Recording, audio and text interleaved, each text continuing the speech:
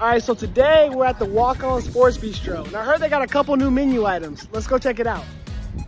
This Walk On's was located on the west side of Wichita, and they serve up different burgers, salad, and sandwiches, as well as Cajun cuisine. But before we begin, hey man, let's dig in. And we started off hot with this boom boom shrimp. It was fried beautifully and it had us fighting over the last one.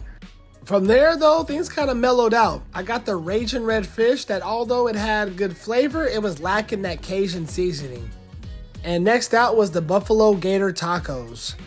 Not only was this served on a cold tortilla, but the gator itself was just very soggy and lacked a lot of flavor. And pretty much the same for the cheese dip, it was just very bland.